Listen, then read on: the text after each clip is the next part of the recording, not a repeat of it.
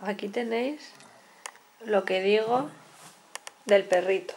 Ese perrito se lo trajo mi padre a Turquito y desde entonces lo tiene como su bebé. Siempre está acurrucado durmiendo con él en la cama, es que se lo coloca así, es alucinante, para dormir pegadito a él. Y cuando va a beber agua se lo lleva y lo pone al lado del cubo.